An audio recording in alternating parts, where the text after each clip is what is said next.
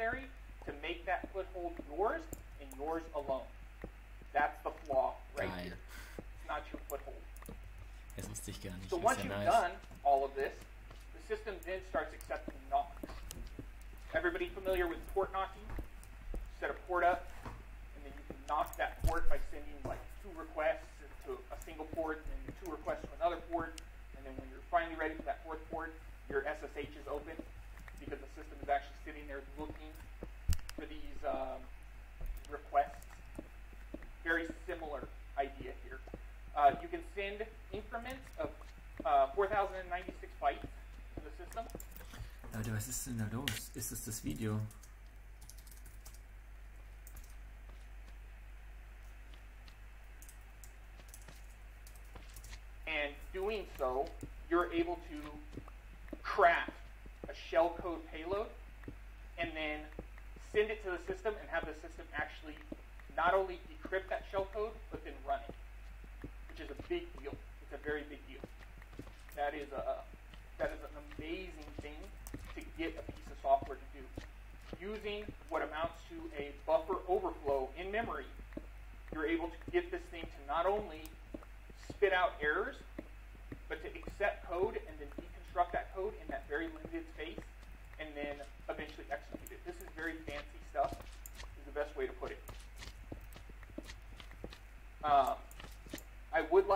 Warn everybody that it's going to get worse. Okay, at this level, now that we're starting to see this stuff, there are people who are already deconstructing this code and seeing how it can apply elsewhere. Okay. They're not just looking at this code and saying, well, Microsoft patched it. Uh, oh well.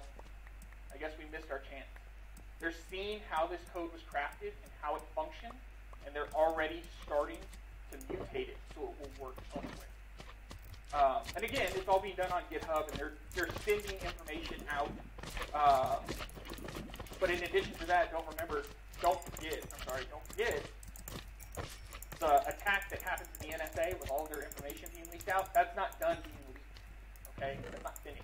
We're nowhere near done with that, so there's still more stuff on the way. Boah, Ähm, ich pack das gar nicht. Everybody knows that sieben Minuten dran. Ich, ah, das Video ruckelt so hart, das ist ja gruselig. It was months and months ago when they released the fix. Ich for würd this gern wissen, ob das das Video ist. Oder ich. of computers, including very important Huh? high-profile systems all over the world. People aren't doing their updates. They're not going to do their updates. I'm going to tell you right now. It's not going to happen. Okay? So, this stuff is going to continue to propagate. This is the start. This is the beginning. This is stuff that got released, and then people essentially got a couple of months to, to wait. And not only that, they actually released it to Microsoft and said, hey, go fix this. And Microsoft said, great, we will fix this. And then months later, people are still not prepared for this. I can't tell you what a mess that we're looking at. We're standing on the snowball, and it's just going downhill. So keep that in mind, especially with your systems. I know a lot of us in here are Linux users, and that's great. But the SMB protocol is available through Linux as well. And there are vulnerabilities in that protocol under Linux, so we're not we're not immortal just because we put on the Linux code, okay? So now that we've got our initial scary thing out of the way, get into our performance objectives. So at the conclusion of the course, and for those of you who are not familiar with the way that these little talks work, actually teach them like a general instructor would. So you're getting essentially the exact same education you would get if you were military or if you were police or anything else. If you were sitting in my classroom and we were all sitting around a table, this is the exact format that you would get. You get your performance objectives, we break everything down, and then at the end we actually discuss all of the performance objectives again. Yes. Did you get it?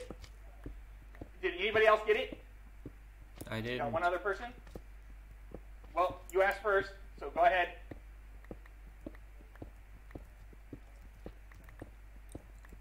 That's it. You're not going to drink it? Okay, well, you won. Enjoy your Mountain Dew right there. So, we have a winner.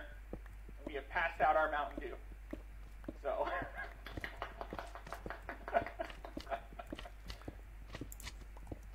yeah. Essentially, all I did was I created two images so that you can diff the two images and see that even though they look exactly the same, there is excess content. Uh, what makes up steganography in a second image, and then from there you could actually even vim the image. And we'll go over all of this here shortly, but you could see that excess data, and it was just basic code, base 64 encoded string at the bottom. You decode the string, and then it would just give you instructions. But we'll talk about the act of steganography, how you can hide data inside of other data. All of that is part of this. But thank you very much. So we're going to identify what PGP is. We're going to identify the use of a PGP public, key. We're going to identify the use of a PGP private key. We're going to understand a little bit better what encryption is. We're going to understand when to sign communication. And we're going to understand what threats prey on trust issues. We're going to be going over a lot of information, and this isn't all of it, but this is a part of it.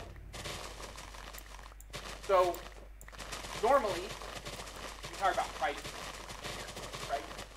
Privacy is a big deal. We all want to be very private in our lives. Stay out of my information. You know, we don't want people reading our text messages. We don't want people going through any of our uh, phone calls. We don't want people rummaging through our mail. We don't want any of that stuff, right? We want our own autonomy. However, that is not always the greatest concern. Sometimes we need to actually be able to prove who we are. We can't just hide. We need to also be able to demonstrate that I am who I claim to be. Um, has anybody here ever received, and I know this is probably very rare, but have you ever received a phone call from a gentleman or young lady claiming to be from Microsoft, letting you know that your computer is infected? Ah. So, they said they're from Windows.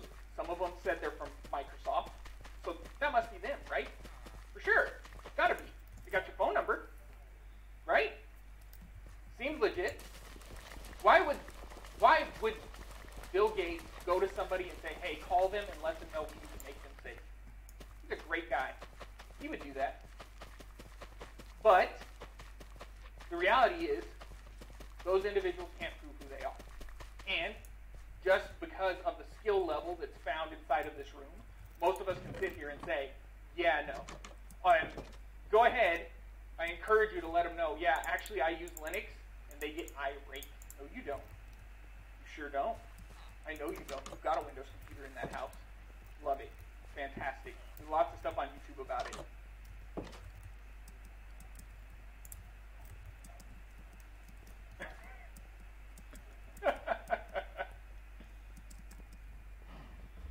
so right now, the media, they don't like encryption.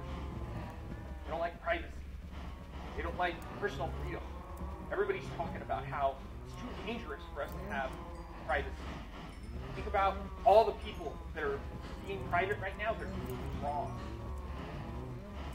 We should be held responsible for right? No. I disagree. I tell you right now, personal opinion, no. However, there are a lot of people who want to stop from being able to have privacy. But what I really want you all to be able to focus on is that not only do we have to have privacy, we also need a way of knowing exactly who we are and what we actually do. I should be able to go to somebody and prove who I am. You should be able to prove who I am. Oops. Or who you are. But actually, in all honesty, using these tools, you could actually say, hey, I'm going to prove exactly who you are simply because of the things that you have. We're going to discuss that. So, cyber terrorism. Huge threat. Everybody knows about cyber terrorism. It's sort of a buzzword of the day. Everybody's worried about the cyber. It's scary. What's going to happen? We have digital Pearl Harbor. You see that? Books, your textbooks, you see that? Everybody heard the term digital Pearl Harbor? That's the term that gets thrown around whenever you're up at that level where people say, what's called the geeks. That's the term that they use. Is digital Pearl Harbor. Okay? Keep that in mind. You can see it, especially if you're working in this industry, get into the security industry. This is how they push things. You have to be able to tell people there's something to be afraid of, and if they don't know to be afraid of it, you got to make sure that they know to be afraid of it. And then once they know to be afraid of it, you got to give them Hmm. something that they can look at and say, well, it's going to Hmm. be just like this. Okay? Hmm. Hmm. But let's start off with Brr. those privacy threats. Move towards that right now. The first one, who do we always need to save? The children. Children are being targeted not only by advertisers, but a whole bunch of other people. There are children's toys, and of course, if you brought your machine, I have a link taking you straight to the archive.is. Talking toys accused of recording and sharing kids' secrets. Okay?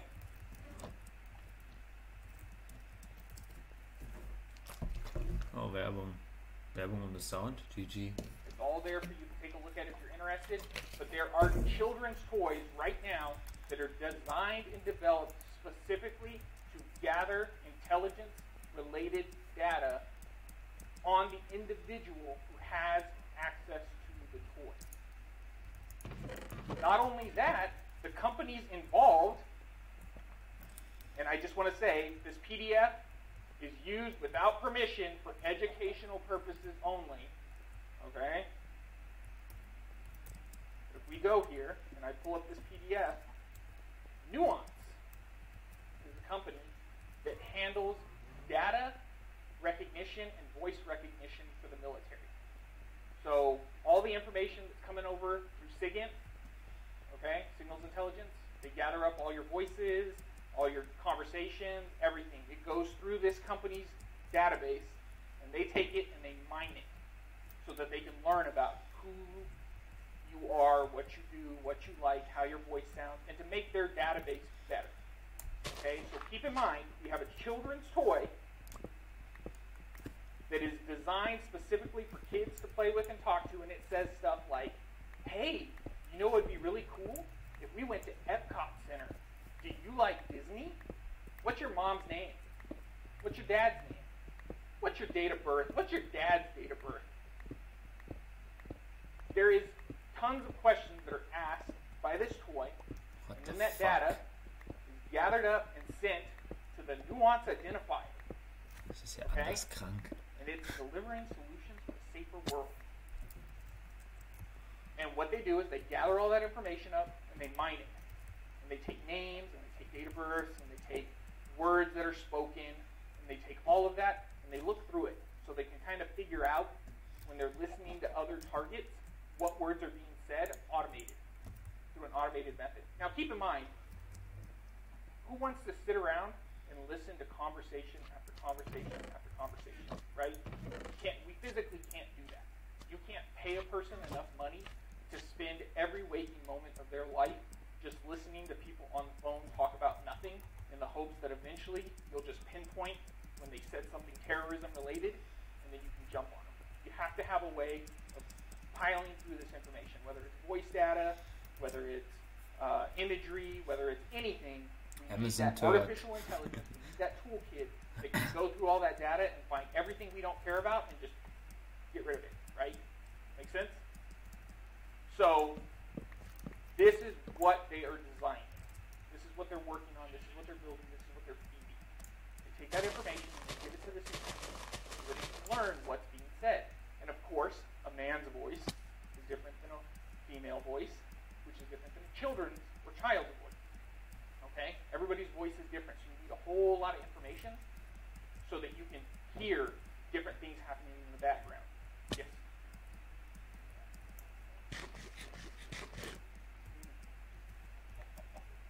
Come on, Jake. as well as in law enforcement. So, for those of you who did not hear this, uh, Nuance is also the company that created Dragon Dictation, which is used in the medical industry for dictating, uh, as well as in law enforcement for dictating as well. So they've got their hands in literally everything that has to do with voice. Sind wir denn?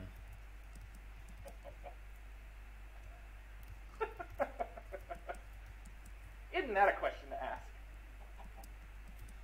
So not only are they harvesting the data, but they're also selling advertisement space within that data. So you all heard me mention Epcot Center. So Disney actually buys advertising through these tools so that the toy will talk to the child and then say stuff like, you know what's super cool? Disney's super cool. Hey, do you like Mickey Mouse? Yeah, you know you do. Stuff like that. So that the entire time that the child is interacting with the toy, not only are they gathering up information from the kid, but in addition to that, they're supplying information to the child about what they should think, how they should feel. All of that additional information goes along with it. And of course, I made sure that there's links to all of this stuff. So for those of you who are going through the webpage, you can go through there and you can take a look at all of it to build your own opinion about what this potentially could be used for. Okay? And again, all of this stuff used without permission, but for educational purposes only. Ja. What's another problem? Ja, und das Ei war jetzt Lucky, natürlich. Ach. Leute. For sure, they're locking these things down. They're sticking these toys inside of kids' houses, having them talk to the kids. Super security, right? We're talking 10,000 bit encryption. No, not, nothing. Open Bluetooth. I can literally sit outside your house with my laptop, and if you have that toy in your home, I can hit that toy, and it becomes a microphone, two-way microphone. I can talk to the child. or I can Creepy. listen to everything the child says. I can do it all my laptop. No security at all. Not poor security. There is a difference between poor security and no security. This is actual legitimate no security. None. You just connect to the toy. Okay? Has anybody heard about the fact that a gentleman uh, is actually, I believe he's still in the court case, but don't quote me on this. May have already been settled. But he actually broke into one of these toys databases and pulled all of the imagery of the children because the toy was designed where you take a picture of the kid and then you can add that to their profile and it makes like a little web page for them and all this stuff. So he broke into that database and pulled all of their voice data, he pulled all of their photos, he pulled all of the information about the kids, and then he went to the company and said, hey, all of this is available and open to the internet. So what did they do? Obviously, they secured the database and then thank that gentleman with a reward, right? Anzeige ist raus. No, they didn't. If you guessed that they sued him, had him arrested, seized the database back, even though it was already open and out to the internet, and a whole bunch of other people have already downloaded it, and then claimed that he's the whole sole reason why that security was like that. He broke in and he downloaded that file, and it's obviously his fault. He did the download, it just opened everything up. He opened Pandora's Gate, all his fault. Voll good. That's what happened to that guy. So, for those of you who are my students, or who have been my students, because I see some past students in here as well, everybody knows that I always talk about the No Saturday Night Special. If you remember back in the 90s, the big thing was Saturday Night Special. That was the firearm of choice. Ja, ich fühl schon- ich fühl mich langsam wieder, als wäre ich ein Student von diesem Guy. said Saturday Night Special. I don't know. Nobody knew, but it was super scary, right? This whole thing right here is the Saturday Night Special. That right there. What did he do? The file. What else? Did torrent? Tor involved? What about encryption? What about the, where's the You have a bunch of people who have no idea anything about technology, but they're sitting in positions where they make decisions about that technology. Okay? Keep that in mind when you're pen testing. And I bring this up because a lot of us are. We're penetration testers. We work on stuff. Sometimes our companies or the people we work for even say, hey, find out how to secure this better. But keep in mind, that it is not unheard of for companies to find out that something is so grossly insecure it is unsolvable and potentially a detriment to the company, aka solvency. That company will no longer exist if people found out what they were doing. And then the people who actually found this stuff get in trouble. Okay? And you can find incident after incident after incident of this online. You just go look through the news. Start Googling for pen testing. However, I would like to redact the word Googling and with the word DuckDuckGo. So, Ehre. what about adults? We've been talking about kids this whole time. What about us? We're all adults, right? Most of us. Adults are being targeted too. We know this. We know this for a fact. We're targeted with advertisements. We're targeted with information data mining. If you have a car and that car has any kind of like GPS or anything else, they monitor all of that. Uh, Nissan GTR. That's a cool car, right? Pretty neat. Some of us are like, oh yeah, Nissan GTR, I'd take one of those. Except for the fact that that actually has a map inside of the vehicle that maps every single place you've ever taken the car in the history of the car. And they will actually go through that data and verify that at no time you were at a drag strip or at a racetrack when you go in for your car service. Unless you have a service contract with them that says that Japan, the car is actually limited where you cannot reach past, I think it's like 85 miles per hour in that vehicle, unless it is actually located at a specific set of racetracks. So the Ich glaube, ich habe immer. Vehicle falsch ausgesprochen oder der spricht das weird aus. Vehicle. allow the vehicle to reach certain speeds. Okay? Ey, ich schwöre, ich habe es mein Leben lang falsch ausgesprochen, glaube ich. Kind of offensive, but that's a personal opinion. I don't like that. My car and I paid for it. I want to be able to have whatever it is that I paid for. But it's one more thing that they're doing. Everybody hear about Weeping Angel, another NSA goodie?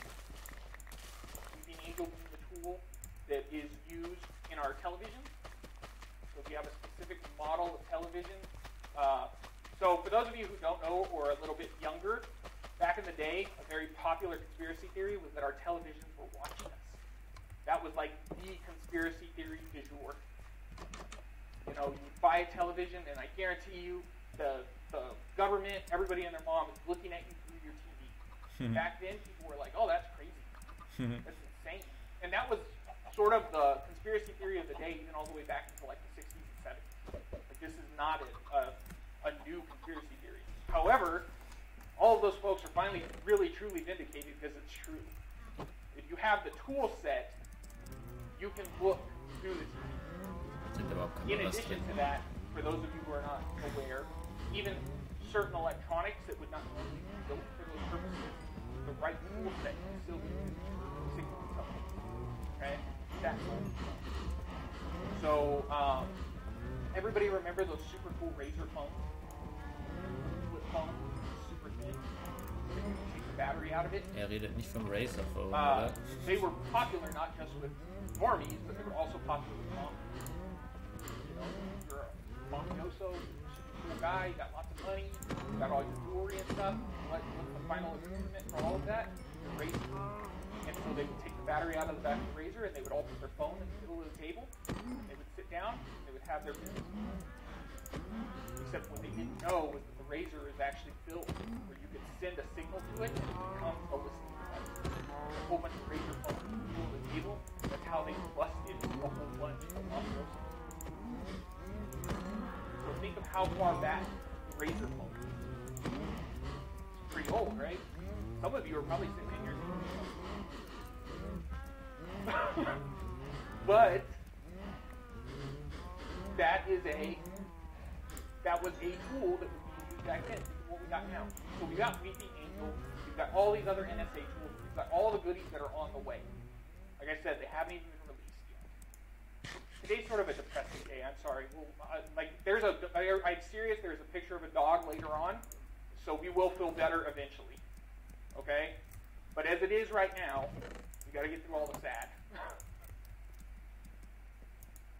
you can turn pretty much anything electronic into a covert listening device. You just can. Okay? There's tools for everything, and everything is. For those of you who are sort of on the fence about becoming a security researcher, I'm going to tell you all a personal story. And this, I hope, doesn't scare you all away. But you should know about this story. Everybody knows about Twitch, right? Twitch TV. So my idea is to create a Twitch channel where I sit there and I play video games and they talk about cybersecurity related stuff. So you have fun, but then you also have like cybersecurity stuff. Imagine cybersecurity and video games at the same time. Serious, but you gotta like look at it at the same time. So what do I do? I go down and I buy an AverMedia game capture card. And I get up at 3 o'clock in the morning, I'm a busy dude, and I'm like, alright, 3 o'clock in the morning, I can make some videos and stuff like that, and this will be cool. The game capture card has an application for your phone. And the phone, you log in, and then you pair that phone to the device, and then you have control over the device from your phone so that you can sort of control it while you're still playing the game on the screen. It makes sense. It's a smart idea. So, however, when I try to install the application on my phone, it pops up and it says, hey, this application is not going to start, it's not going to keep working. Eventually it's going to be phased out and you're not going to be able to use it anymore. And I thought, well, just bought this thing.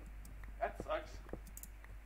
And I thought, well, I guess Ach, I'm der gonna schon send it wieder. back. And I thought, well, if I send it back though, what does that say about me as a computer programmer? So what do, what do you think I'm doing at 4 o'clock in the morning? I got Wireshark open, the phone, and I'm p-capping this application, and I'm looking for documentation online for the API, and I'm like, I'm going to make this work. And then I find that there is an actual request that goes to the box that says, hey, I'm I'm connecting to the box, let's go ahead and do a registry. And I thought, well, that's important. It's a curl request. And because I already mass scanned the box to see what ports were open and everything's filtered. So I'm like, all right, but I found the port that's being used for the API. It's like 2174, something like that. I'm like, this is cool. I'm, I'm on the track. All right, we're reverse engineering right here.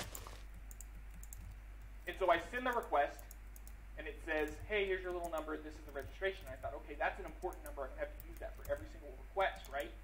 That's your API request number. Obviously, we're going to Kann man da drin stecken bleiben oder wächst der send the einfach nicht, wenn man drüber to turn the spricht? without the number, and it goes boop, comes right back up. But That's weird. Okay, ich muss nochmal, ich habe jetzt nicht zugehört, weil ich gelabert habe. That's your. And so I send the request, and it says, "Hey, here's your little number. This is the registration." I thought, okay, that's an important number. I have to use that for every single request, right? That's your API request number. Obviously, we're going to need that. Then I send the curl request to turn the box on without the number, and it goes boop, comes right back up. That's weird. So then I sent the ones that turn it off. Boop, it's off. No code, no nothing, no registration.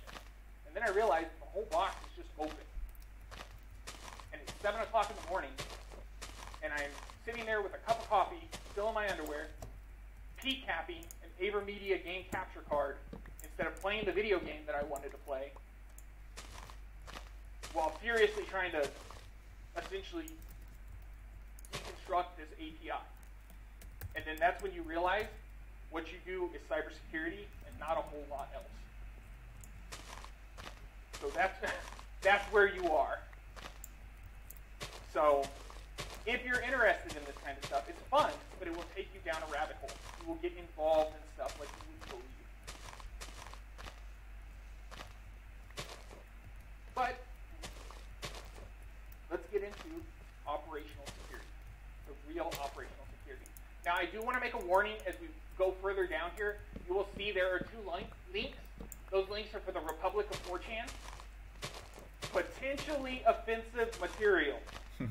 Okay? Just keep it in mind. Potentially. Has anybody ever heard loose lips sink ships? Few of you? Okay, loose lips sink ships have been around for a long time. I'll break it down for you for those of you who don't know what this means. I mean, if you run your mouth, people could die. It's that easy. You talk, people die. And this, you have ever been in the military, if you have ever been in law enforcement, if you have ever been in medical, if you have ever been in essentially anything where other people's lives depend on you, you will hear these words spoken. Okay? Make it even easier. Stop telling people everything about yourself. That easy. Okay? However, we use this to our advantage. Werbung. I talk about measure, countermeasure all the time. If you're a student in my class, you have heard me constantly. Oh, der andere Baum ist bring up gewachsen. Das measure, ist das Lol. countermeasure. Goes back and forth, okay? Over and over. Here for the camera.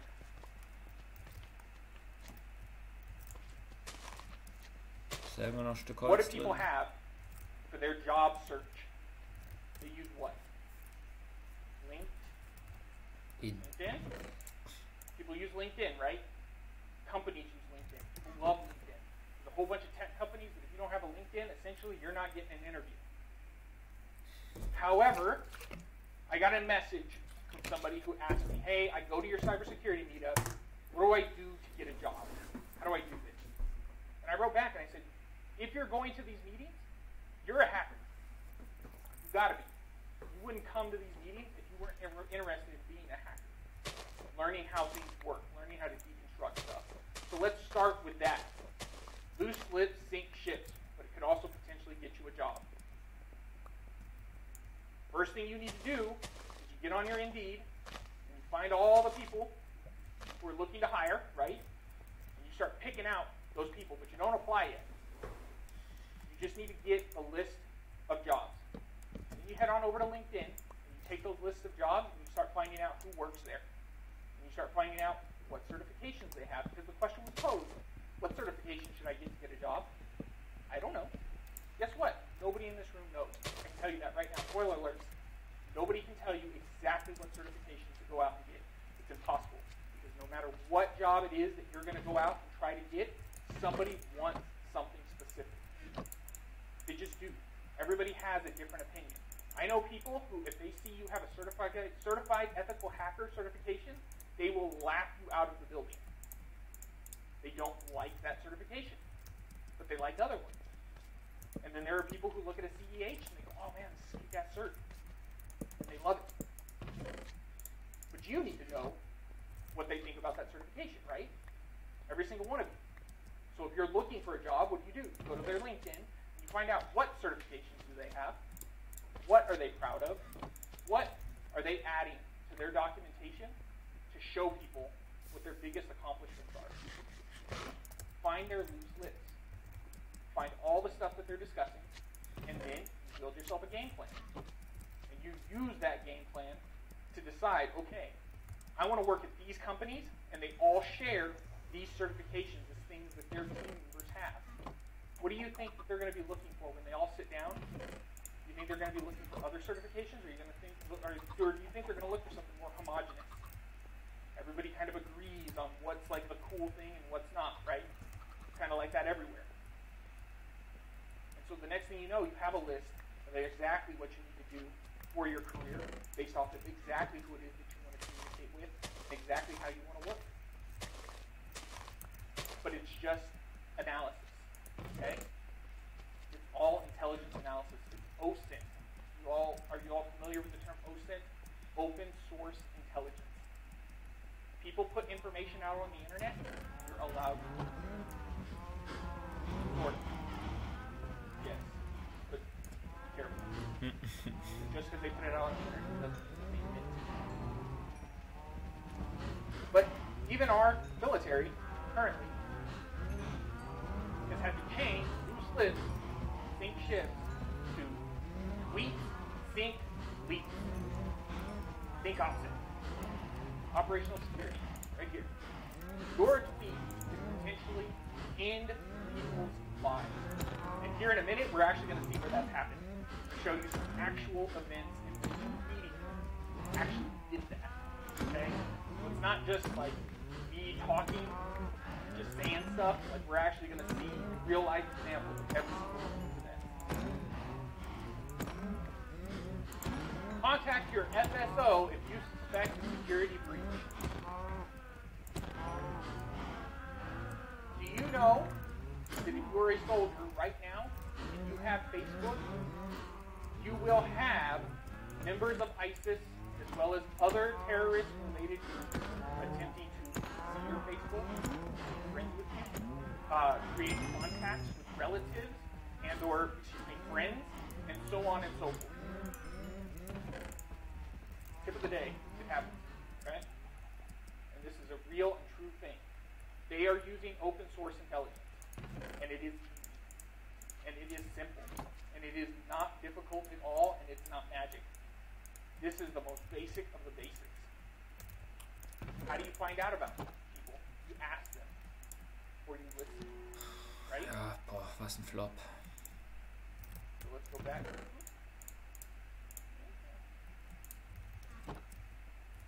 Was ein Flop. If you like that poster and you'd like more, I've also included a link to the CDSE, which is the Center for Development of Security Excellence. That's the U.S. government, and they make like posters and information, and make all the bulletins and so on and so forth. You can actually come on here. There's tons of them. You know, the attachment. This is kind of cool. I like this one. Look, she's super scared of that attachment. Don't open it. Geil. I like that one. But there's tons and tons of stuff here that they're building specifically to try to explain to soldiers, sailors, airmen, so on and so forth, that what you're doing on the computer matters, and you need to be careful. And guess what? It's all free information that you can all use too. Okay? And it's good information. What about the incidents, you say? What about all these happenings? Well, let's start with Israel.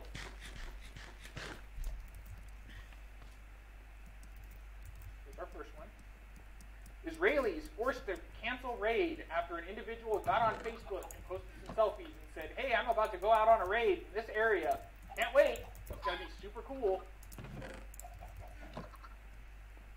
Don't do that. Life pro tip. If you are about to go out on a secret raid, tweeting about it. Don't do it. So, this is not the only one. I want to make that clear. This is just a small collection of them, but it got to the point where I was like, I'm just going to do the top five because I was already at 25. And I was like, mm, we don't need to do 25. That kind of wastes our time. But top five. Okay, so this is the Israeli one. I like this one because they literally come out and say, don't go on to social media and post your secrets. Just don't. Great. United States. And I do two United States ones.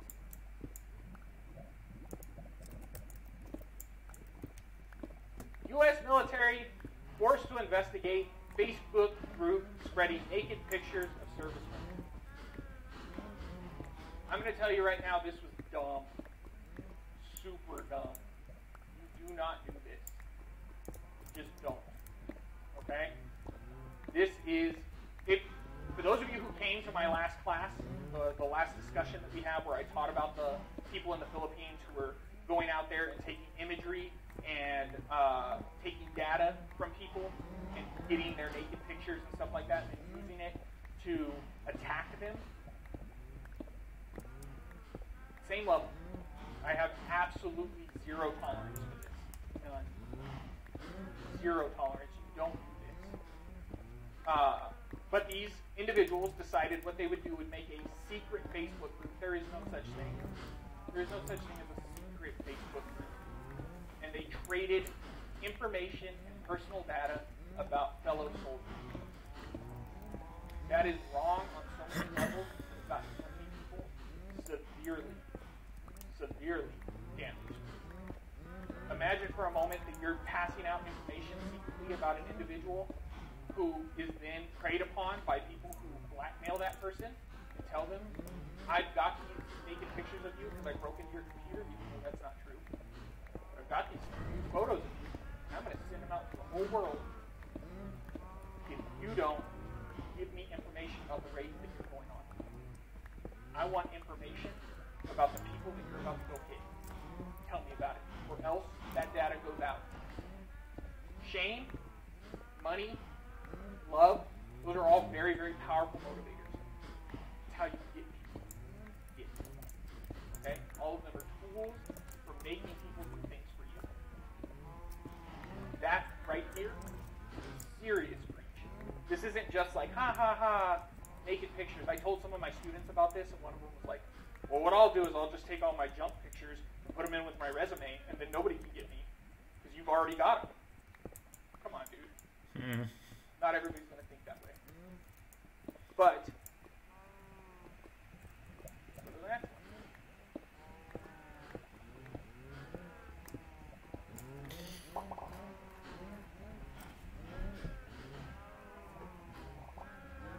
Ich finde es geil, dass diese Werbung einfach keinen Sound hat. Das ist sehr praktisch. U.S. military social media accounts hacked by Islamic State sympathizers. It Happens all the time. Constant.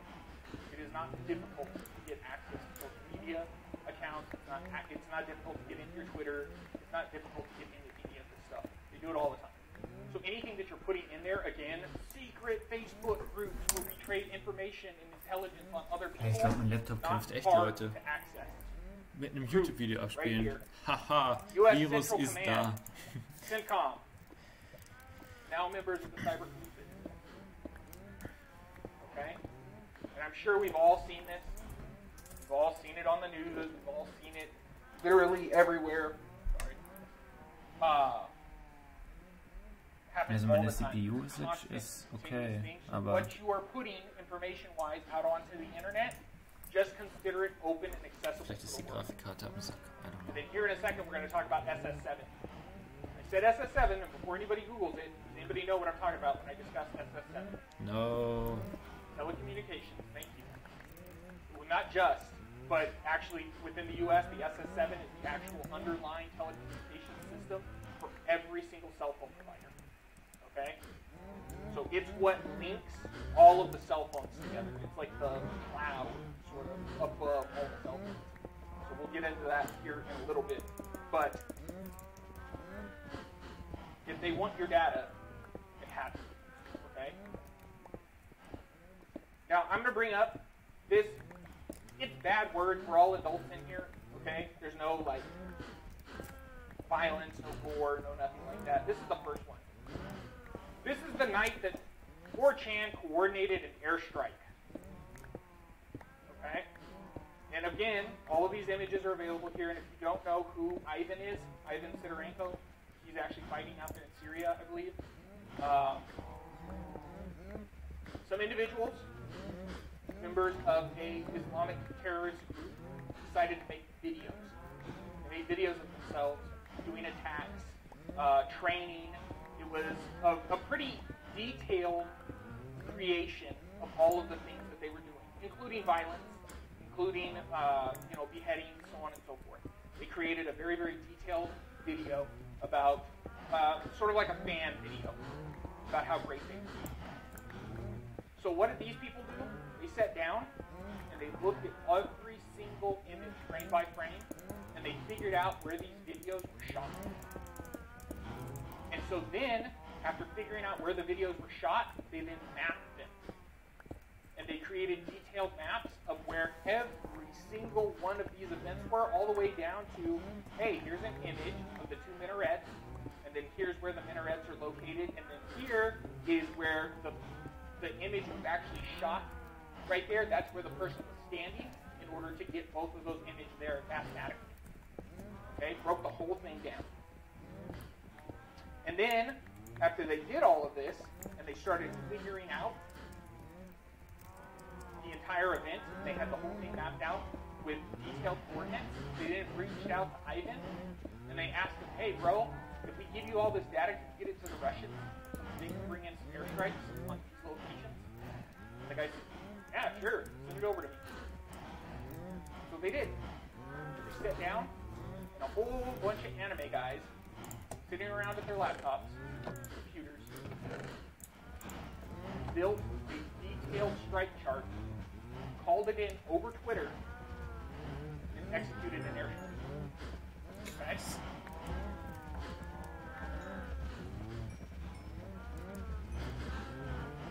Correct. They use all of that, actually. They refer to it as weaponized systems. If you have not heard the term. Uh, they are quite proud of that term. Later on, Ivan then gave a shout out to the group and let them know, hey, good job. Very thankful for their actions. And a whole bunch of them actually celebrated about it. So now let's hit the button. And we open the next one. Guess what? They did it again. It wasn't just once. Okay? Once is a fluke. Twice is the real deal. This time, training videos, use lips, right? Create a video, have all this stuff inside that video. You don't even think about the fact that right here, that image right there, power, power lines. Okay? That's the tools used to keep those power lines up. So what did they do right here? They went actually pulled up power lines so that they can make sure that those were the real power lines. Okay? And then they went through they mapped it all out. Hey, here's the power lines, here's everything, and here's all the data so that it's all broken down. You can see building one, building two, building three. Go out here, one, two, three. Everything's all broken down, all through maps.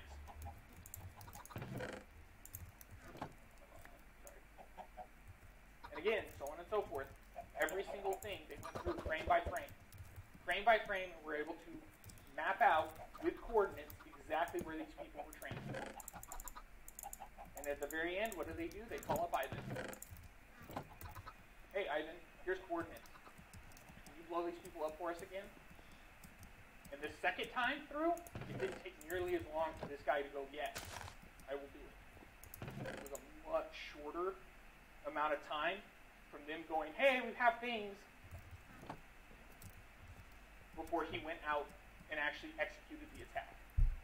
And then they recorded the attack. And there it is. Right in that area, right where they called it out. They said, hey, these are the bad guys. We don't like them. We're unhappy with them. And what do they do? They execute the attack. And then, of course, if you go through there, you can see all of the celebration. How many of you oh.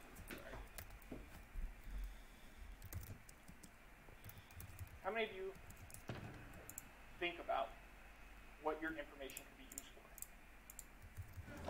Potentially.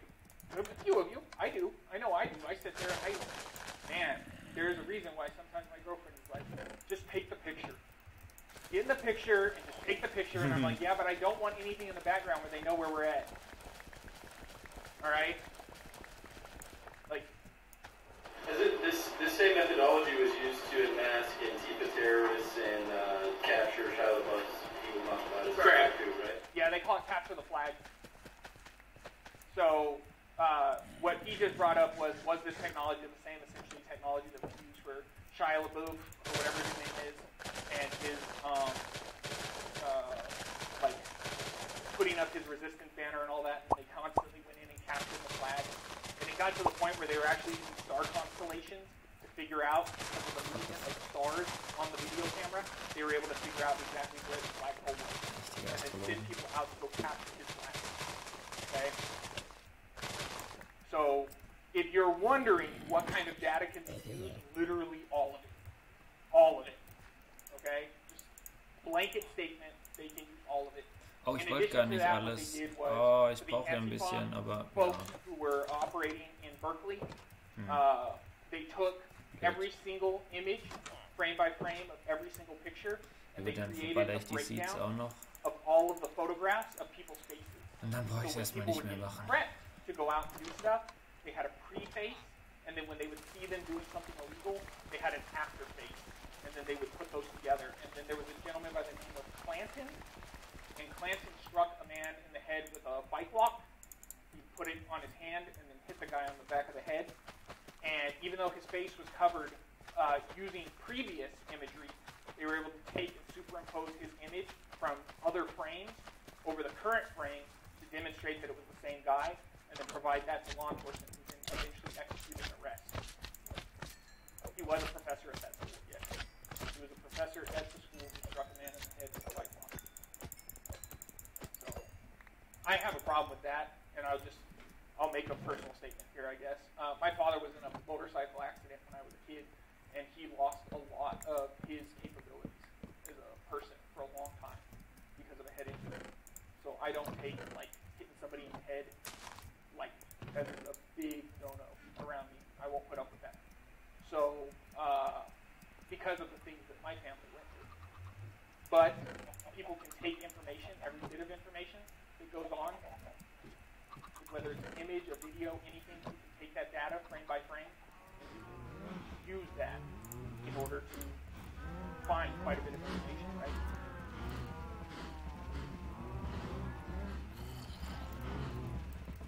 So, talked about SSL before, but we're going to talk about it again. The reason why is because we're going to, I am going to say, when you are communicating with web pages, how do you do so? With SSL, through SSL, correct? You're going to communicate with a web page. You want that web page to have SSL. SSL is going to provide encryption for your connection. It's going to protect things like usernames, passwords, and other information transferred. But if there's no information transferred, Basic stuff, right? We all know this. Blog post. However, Braucht ein Blogpost SSL? SSL does not provide proof of data assurance and cannot prove that the data is true. It is only good for providing a layer of encryption over the data. There is a difference between true data and encrypted data. Let's make that very, very clear. Just because something is encrypted does not necessarily mean it is true. It does not. I can encrypt anything. I'm from Microsoft. Send it on over. I need access to your computer. Anybody can encrypt anything. Encryption is not proof. I got a link in here. Fake SSL certificates that are actually trusted by the people who deployed those certificates are in the wild. Google super bent. Bent enough that they banned some of these um, uh, individuals who were deploying certificates like Symantec, Symantec, Symantec. All right, I don't use them, so I don't. They issued 30,000 certificates improperly. I also don't use Norton, sure. For sure on that one. So 30,000 certificates improperly handled. Okay? So you just, here you go. Google.com, you want Google.com's SSL certificate? Here it is. We trust it. You hook that up to a domain, put that into a, a web browser, it'll come back green. It'll show that little lock. And it'll say, hey, issued by Symantec. The mishandling of these SSL certificates led to Google restricting the use of those certificates on the Chrome browser. It actually comes up this certificate sucks. Not exactly like that, but pretty close. And it tells you, you cannot use this. Shows a little broken lock.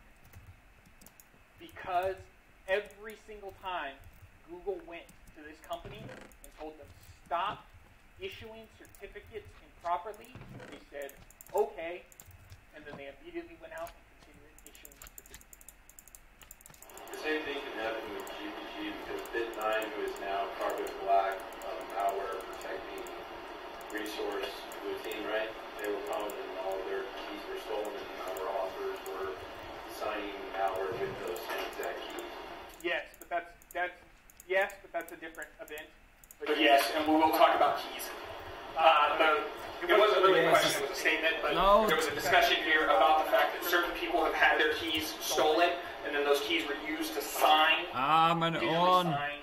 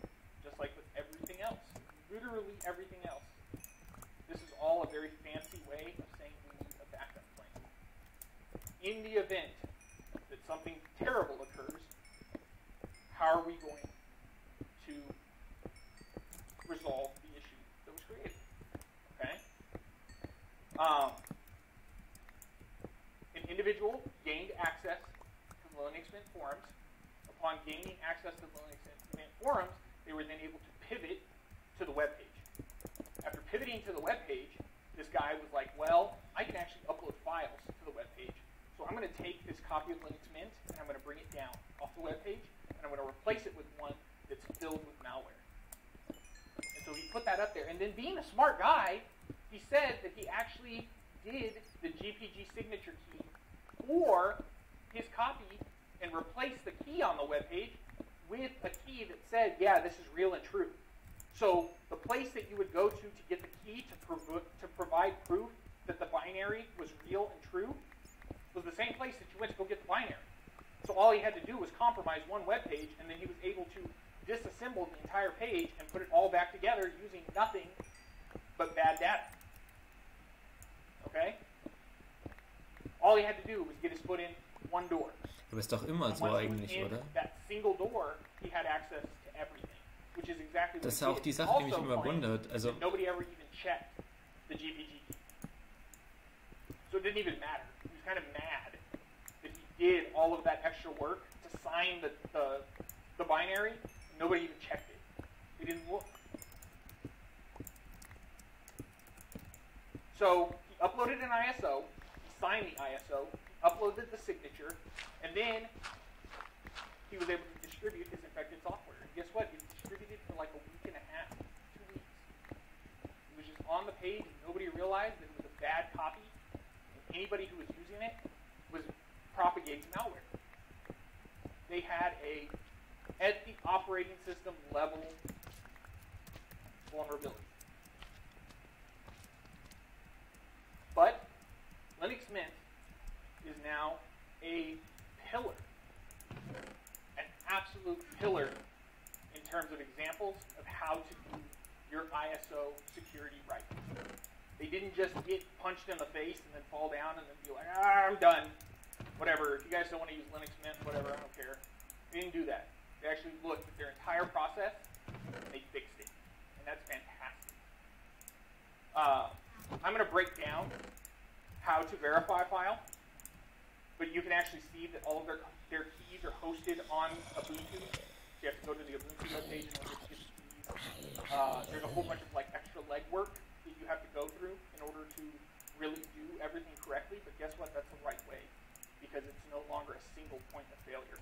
Somebody would have to inspect Linux Mint stuff, and then they have to inspect Ubuntu stuff, and then they have to go to a key signature site and infect that site as well. It's a lot of moving parts that you have to do all at once without getting caught.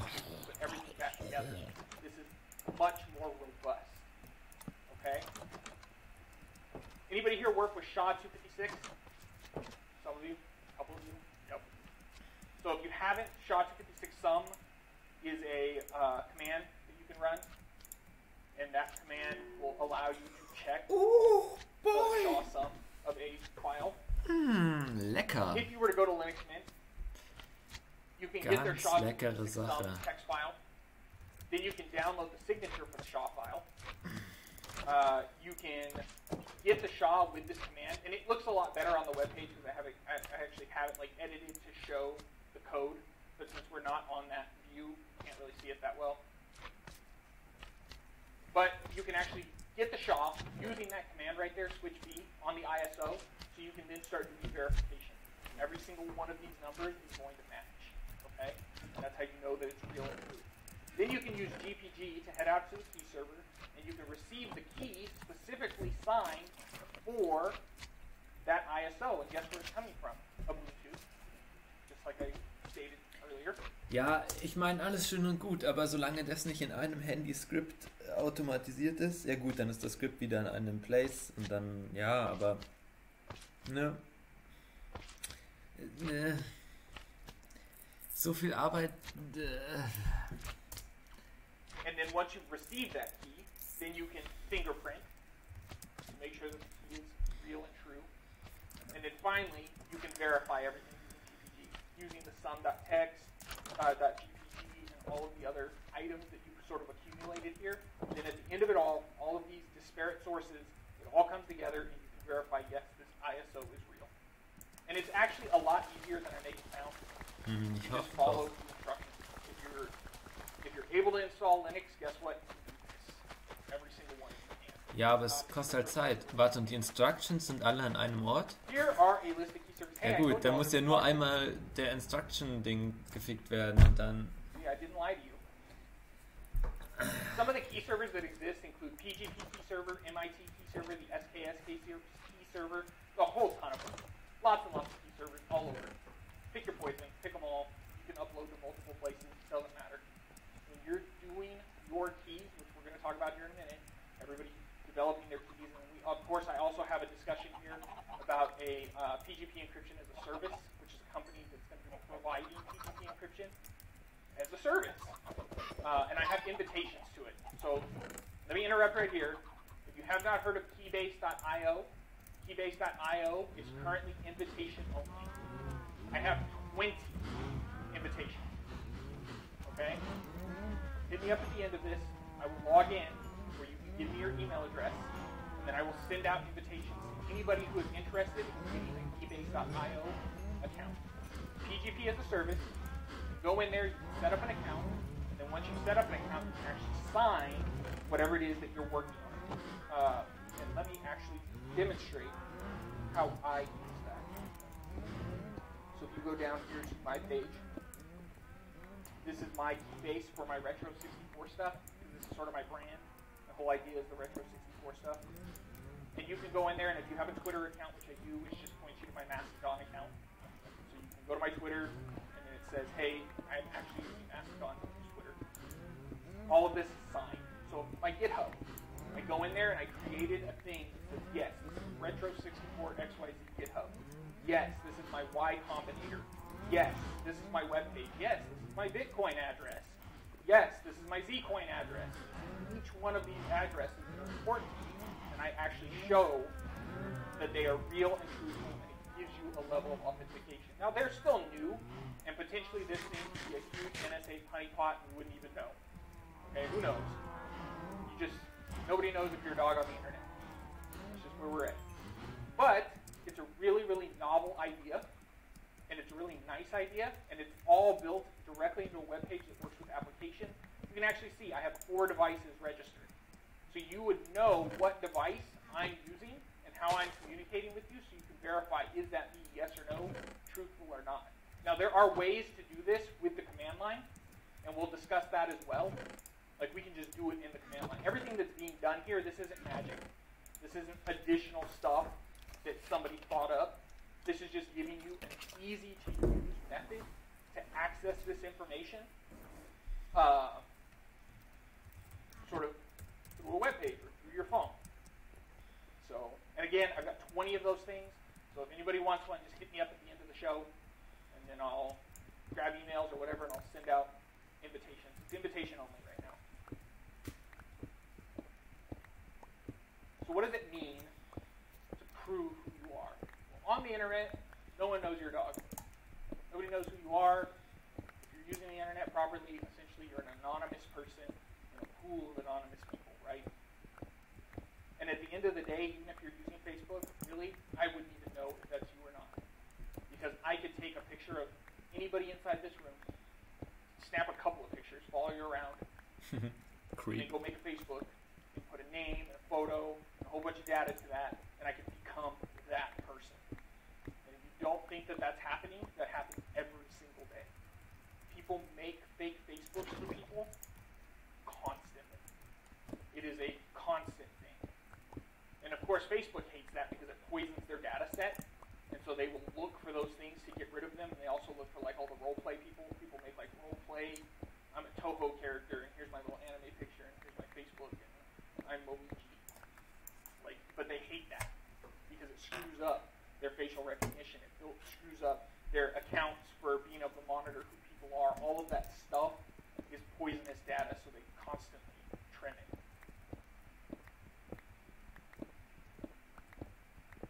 Theoretically, unless you give information out, you shouldn't be able to collect that information. You're not on the internet, right, you should be able to get data about you. Well, that's not necessarily the case. I'm going to make a very, very small uh, guess about some changes that are going to come. If you're not aware, there's a lot of public records out there on the internet. Tons of public records. I can get online right now with your name and essentially find out every member of your family. If you've ever bought a car, bought a house, if you've ever started a business, if you've literally done anything with the government, the government, due to the Open Data Initiative, takes all of your information and pushes it up to the internet, and there are people who are sucking on the end of that fire hose and putting all your data out on the internet. I have tracked people all over the world with open source intelligence that comes from open records.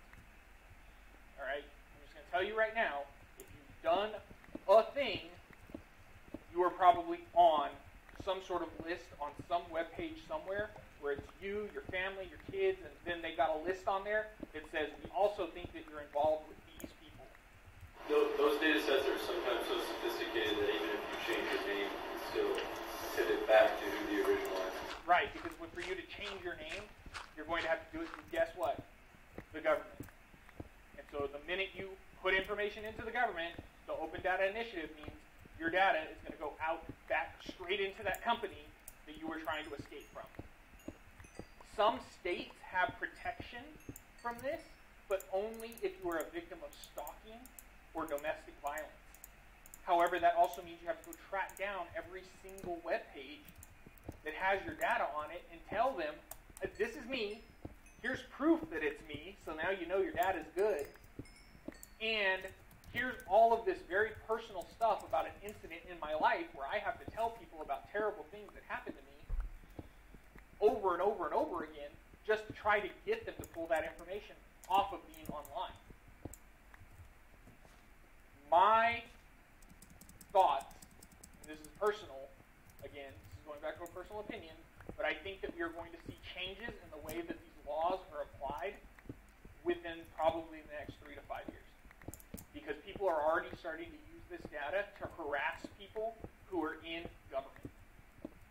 So there are mayors and there are people who are in uh, state representation and things like that, and people are starting to pull down their data and they go fly drones around their house and flash lights in the windows of their homes and stuff. And when terrible things happen to the normies, kind of, you know, that doesn't always hit hard.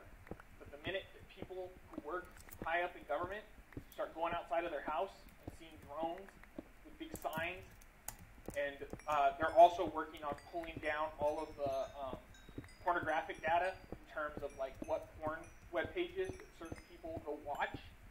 And once they have all that data, they're going to start releasing that specifically for like state representatives and people who work in government, just to kind of demonstrate like if you want to put our information out on the internet, great, we're going to do the exact same thing to you. So this is going to push a lot of these groups to make very drastic changes in the way that this data is handled. I would be surprised if within five years they have not made changes to the law that either protect all of us or protect a certain subsect of people. Okay, certain subsect meaning like once you hit a certain level of government, they're going to like cut you off from having to worry about there will be changes to the way this is handled. I encourage all of you to pay attention to that in the news and do, you know, follow who supports protections against this kind of stuff. So, however you want to take that. What? But, I mean, full circle to Keybase. Talk about Keybase first. War das gerade, hat man da gerade was zwischen den Zeilen hören können oder habe ich, hab ich mich verhört? Hat er gerade gesagt, dass alle Leute, die höhere Ränge haben und dafür sind, äh, dass da sich was verändert, unter Angriff stehen oder so und man die mal recherchieren soll und sich dann an die wenden oder was auch immer? Keine Ahnung. Oder hat er einfach nur irgendwas gesagt? Ich weiß es nicht. Bin ich zu smart, genau. Speed. Boah, Leute, Irgendwann mal schaue ich dieses Wort nach.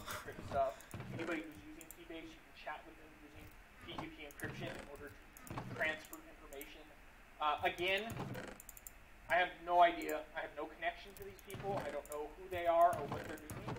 And the potential that at any time somebody from uh, the FISA court could step in and be like, do the thing. And they go, well, I don't want to do the thing. And they say, well, here's the FISA court order. You do the thing. That potentially that can happen. Okay, especially because it looks like a lot of their developers are here in the U.S.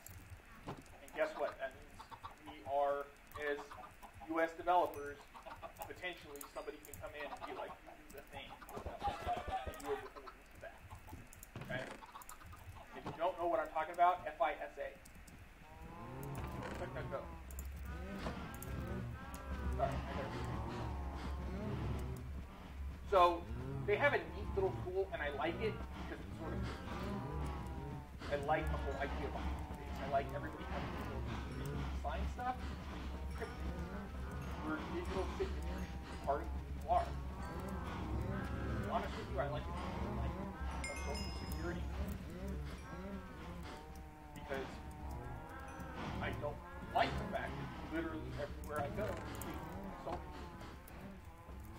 However, if I could just digitally sign things, I would like that more. There's also people who are looking at this in terms of blockchain. You need to be able to prove who you are, prove proof of life, Julian Assange.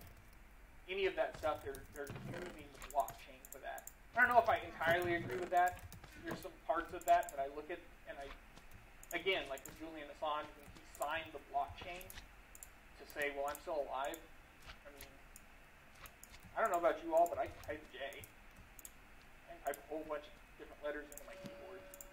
So if you don't have a way for people to digitally sign, which this is the part of the thing with PGP, you would have like a party. Okay, so let me break this down. We would all come in and we would trade keys and we would all like verify who we are. And there's different rules. Sometimes you have to bring a government ID. Sometimes you've got to bring somebody to vouch for you. It just depends on the, the method that's chosen. And then you show up with your little government ID or your homies, whoever it is, and you all come together and then you sign together to say, okay, yes, I know this guy right here, and I trust him, and I believe he is who he says he is, and he's not under duress. And so I'm signing this to say that at this point in time, this key is good, and he is good, and I trust him. And then a whole bunch of other people do the exact same thing. And then we go round robin doing the exact same thing. And so, of course, it helps to have big names.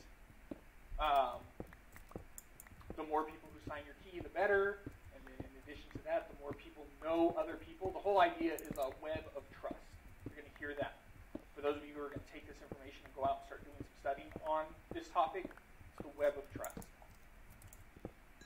But you don't have to use a service. You can use GPG. Okay? So I show how to generate a revocation certificate. First thing you should do is make a certificate that if you have your key, once you have your ID of your key, you can create a certificate that says if this certificate goes out, that means that null and void on my my actual certificate. I'm revoking. Why? For safety and security. If something happens, you revoke the key so nobody else can use it. Here's some instructions on how to actually send that key to a server. You can take the full key ID and you can send it up to like SKS key servers. And then if you want to back up your keys, here's how to do it. So I have a little breakdown for those of you who are interested in GPG. You want to start learning how to do it. Here's how to create the keys. Here's how to back them up. Here's how to create revocation certificates. Here's all the stuff that you need to get started.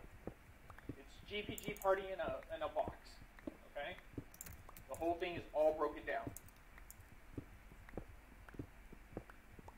Now let's start getting into threats because we're getting close to the end. There are a lot of threats. A lot. And I could sit up here and I could just make everybody depressed. Because I could talk about all the terrible things that are going on in the world and how everything sucks and the whole thing's on fire. And it's bad. Okay? We can talk about that all day. But I'm going to talk about some of the more effective ones that are in the arsenal of the threat actor. These are the these are the ones that make you money. First one, whale phishing. This is a specific form of phishing, and what I'm going to do is I'm going to read to you the little whale phishing email that I created, and then we'll break it all down and actually figure out exactly what whale phishing is. Retro64XYZ. The business is at risk because we forgot to pay our bill to Nigerian Superconductors LLC.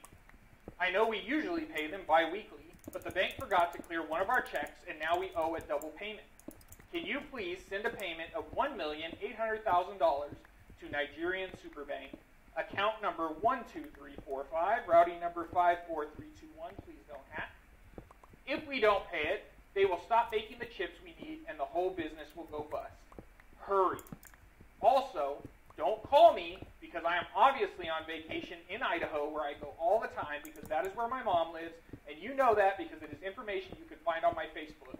Please pay quick. Covered all of our bases, right?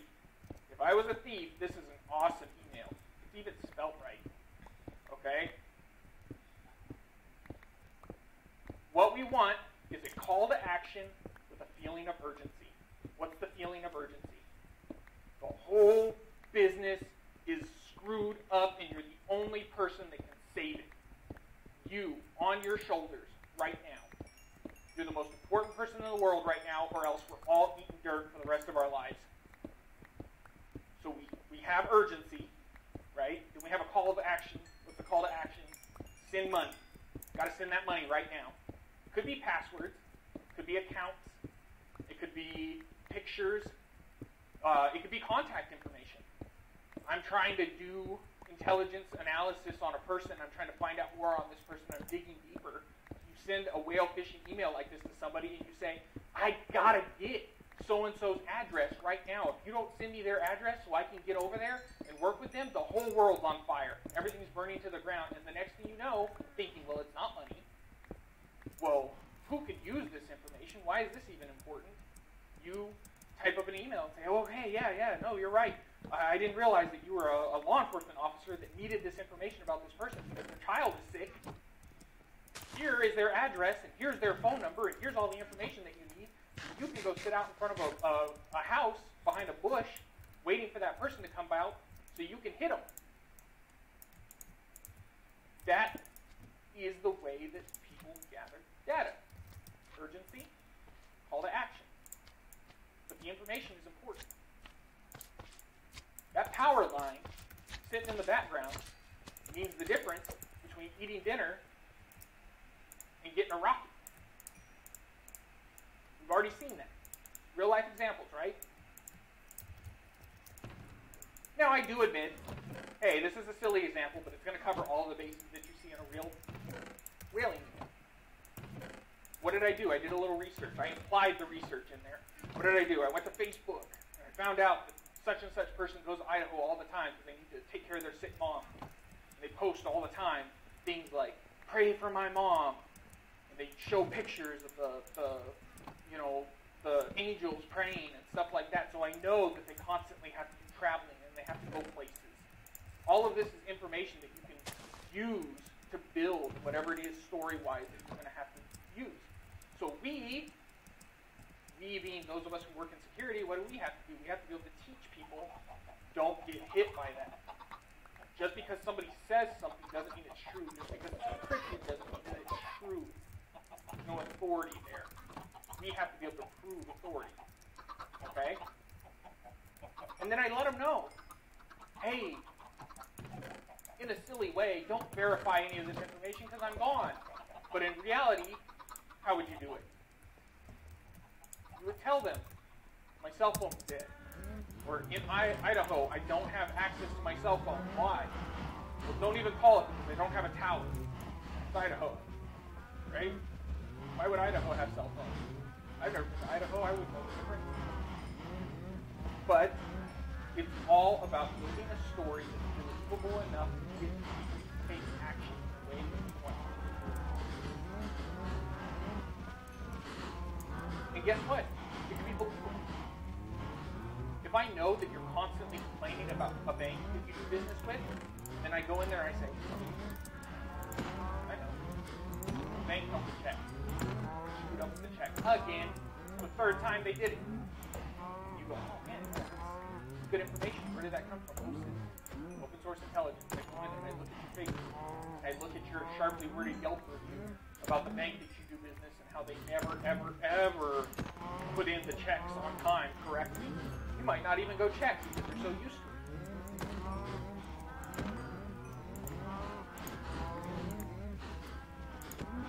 The next to be fraud is this one is probably one that we're all You'll either see it on your credit card, okay, or somebody charges something to your credit card, but it's low enough that they hope that you won't notice. Anywhere from $25 for a Steam account, or for an Xbox little gift card, or for a business, quite a bit more. Uh, most people are going to try to keep it under 200 send you an invoice they'll say, uh, you ordered mouse pads, but $25,000 worth of computers for all your employees. I'm going to follow in on that. I'm going to send you a bill for 250 to $5,000, depending on the size of your company, so on and so forth. But I'm going to send you a reasonable bill, and it'll say mouse pads. Who's going to sit there and go, oh man, we really buy a bunch of accessories for all these computers? I mean, you know, five thousand bucks after I just blew fifty thousand dollars. I mean, is that is it so strange? No, I'll just pay it. And I, every single company I have ever worked at has received a B2B message, whether it be a letter or an invoice or so on and so forth that says you owe us money. And they're not Okay? And guess what they do? They go out to the city they find a list using what? Open data of every single business. And then they take that list for every single business and they create invoices and they shotgun those invoices. Boom, 250 bucks per business. How many businesses do you think are in Phoenix, Chandler, Mesa? Probably more than 10, right? So you take your shotgun list of invoices send that out to every single one of these businesses requesting $250 and now think of think for a minute. If you receive $250 from 10% of all of the businesses in the Phoenix area, think you'd be doing all right? Yeah, right? You'd only have to do that maybe like once a year.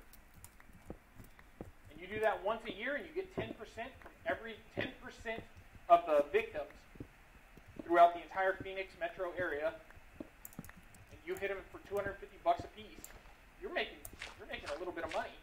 But we're cybersecurity experts, right? We're geniuses. We're not going to fall for that. Guess who just fell for that for $100 million? Google. Some guy sat down at his computer, he went to LinkedIn, he went to a bunch of other web pages, and he pulled up all the Google people, and then he pulled up the, I don't know how many people here work with like the stock market, but you can actually look up filing from companies, okay? So you can sit down and pull up the filings for a company and you can actually see all of their business dealings. Because when you are a publicly traded company, there is certain information that you must make public. So if I'm a publicly traded company and I buy $50 million worth of servers, guess what? That's a pretty big number. And that means that that affects the people who own stock in that company because it's an expenditure. Aber wieso wird die Information so dann nicht nur an Leute rausgegeben, die auch äh, Aktien haben? And figured out what companies they were doing business with on the reg. And once they had that list, and he was able to create that list of companies. Oder haben sich die Leute einfach Aktien geholt? Also keine Ahnung. Aber es muss ja nicht öffentlich öffentlich sein. Did all of the homework that he needed, and then started invoicing Google. He would send them invoices to the tune of a hundred million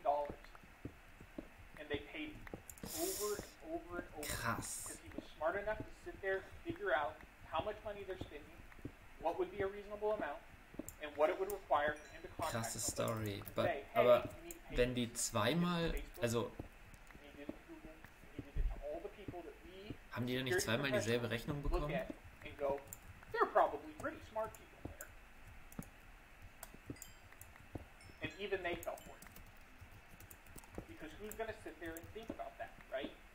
Who's going to think that somebody's going to take all the time to do research about a company, find out who works there, find out what their interests are, develop documentation about it, and then follow through on communicating with those people. Oh, that's weird. We just broke down exactly what we were talking about when trying to get a job.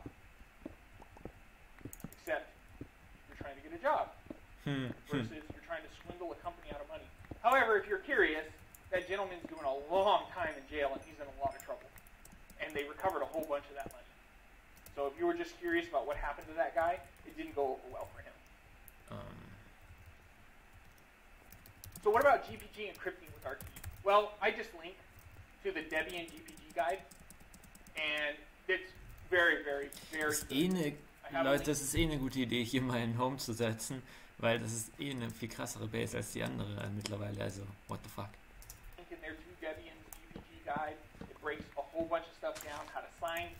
Die Frage ist halt, habe ich meine Wolle weggeworfen oder nicht? all of that. It's a very, very good read. It's all free, 100% recommended. If you have an interest in this stuff, sit down, take a look at it for a little bit. It's really, really light reading, but it's good. It's nice. It's very educational. So let's go over some of our answers. PGP is an internet standard for encrypting and digitally signing communication. A public key is used to encrypt data. It is safe to give this key away. Safe to give this key away, very important. If you have a public key, you can give that to somebody. They can't pretend to be you. A private key is used to decrypt data. It is not safe to give this key away. Do not give away your private keys. Not ever, no, no, no, no. Never give away the private key, okay? However, about keybase.io. What are you doing? You're storing your private key with them. What does that mean? They have total control over the account. Just keep it all in mind, okay? As you're deciding on what your threat level is and what you're trying to accomplish, there's that sliding bar, right? I'm willing to risk this much in order to get this much out of it. It's always going to be a trade-off. And for anybody who works in computing, we all know what that trade-off is. Usability versus security. How easy is it to use a system versus how secure that system is. How much effort do you need to put in initially in order to be able to use it. Use keybase.io, and it's super easy to use. But potentially, other people could do stuff with that account that we may not like. Encryption is the process of encoding data to prevent unauthorized access. Signing digital communications anytime you need to impart trust in the origin of the data. If you all have known who I am, you've met me, you've signed and swapped keys, and I sign data, and then I give those messages out, you can assume that the information there is truthful and from me. Okay? Because anybody can make an email. I can actually get into a server right now and make it look like an email came from anybody here as long as I have your email, and I can say all kinds of terrible things to your boss and your friends and your cat, all of those people, and I can send them all an email, and it would look like it came from me.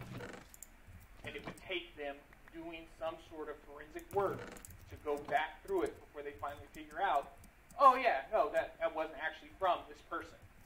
Uh, if anybody here wants to ever contribute to the Linux kernel, you must have a PGP key, you must sign all communications, and you also sign your code. Okay? They get to know you before you get to put stuff into the kernel. Surprise, surprise. So, this information that I'm giving you is being used places. This is old. It's like 1980s level technology. And guess what? It's still good. Still good, still there, still in use all over the planet. It just takes the education of teaching people that it's available and it's something that they can use. So, privacy, anonymity, authorship assurance, They're all important aspects and deserve equal focus by both the security community as well as the public. Okay? It is imperative that the next generation of security researchers be able to not just move in secrecy, but provide proof of self. We cannot become so engrossed in the secret squirrel stuff that we forget the practical and the useful. It's more than just hiding or sending encrypted messages. Sometimes it's much about being able to prove who you are. In addition to that, sometimes people are proving who you are without you knowing. Anybody know the name Reality Winner? What? Yeah, a couple of you. The young lady? Yes. So there was a young lady who worked at the NSA. Yep. And she decided she was going to leak documents. She was going to be the next big leaker. And they immediately caught her. Why? Because she started printing the documents, the NSA, packed them up, and sent them out. And guess what? That printer marks every document. Her computer marks every document. Literally everything. I'm going to tell you all a little secret. Okay? This is a pretty important secret that you should all keep in mind. I, as a sysadmin, if I'm on your network and I have control over your network, I know what you're doing. Everything that you're doing. You will not do something on my network that I will not know what you're doing. Because even if you're using Tor, we talked about this previously. All right? I will know you're on Tor. And that's what I need to know. Because that's outside of your wheelhouse. Unless you use Tor constantly and continuously and every day and all the time, then I am going to know that you're doing something weird. And then you immediately become a suspect. Okay? Just like with the kid who tried to call in the bomb threat at his college. Boah, das wäre echt final- meine Aktion. Jedes Mal, wenn man ins Internet. Leute, Tor, and what do they do? They immediately meint ihr, es gibt Leute, die nur über Tor ins Internet. Ja, doch, vielleicht irgendwo. Aber. Also, Europäer, die nur über Tor ins Internet gehen. Digga, da kannst du gleich im, im Baumhaus leben. Krass, oder? Das ist ja. Ich meine. Was das für ein Struggle wäre. Huh. I broke the thing. Hm, ja, keine Ahnung. Könnte man mal machen. So als Experiment. Es gibt auch so Leute, die, keine Ahnung, einen Monat vegan, einen Monat minimalistisch, einen Monat nur über Tor oder einen Monat Detoxing, was auch immer. Das ist mal eine Did Challenge. you call in the bomb threat? He goes, yeah, I did. Why? Because they were able to pinpoint it directly to him. Why? Because he was the only person on tour at the the bomb threat happened, and as soon as the bomb threat happened, he was off Tor. That's weird. It's about the additional information that you can use to figure out what's going on. It's not about hiding everything. It's not about being a secret person who steals documents and sticks it all in a thing and then sends it out and then nobody's ever going to find out because guess what? If you are working on a computer, they know. If you're using a printer, they know. If you're using a television, they know. Aber äh, ich habe auf, hab auf die falsche Leertaste gedrückt. Ähm, ich finde, dass er ein bisschen so redet, wie als wäre sein Publikum Kriminelle. Also, findet ihr nicht auch? Ein bisschen. Hm. Er erklärt nicht, wie man Leute erwischt, die Sachen in Tor machen. Er erklärt, mh, dass man, wenn man nicht erwischt werden will, immer ein Tor bleiben soll. Wisst ihr, was ich meine? Mh.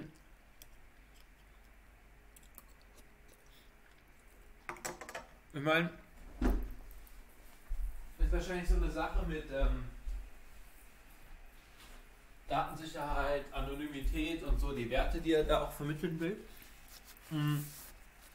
Dass man da immer ein bisschen klingt, wie als wäre man einer von den Bösen. Keine Ahnung. Mm, Aber, ja, weiß nicht, er könnte das vielleicht ein bisschen weniger kriminell verkaufen, meiner Meinung nach.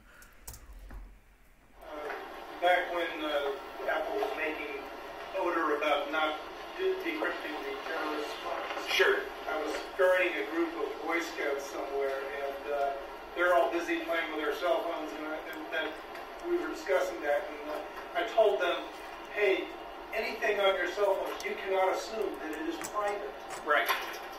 And for the next five minutes, they're all going to delete. Delete, delete. Yep. Always counts.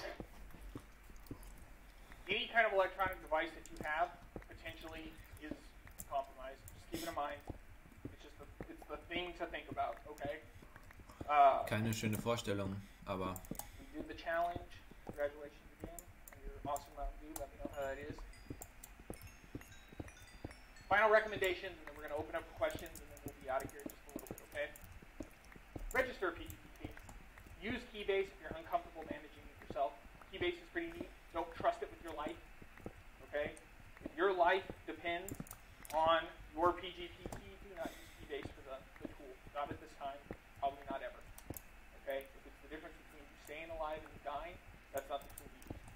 welches Tool sollte man denn dann verwenden?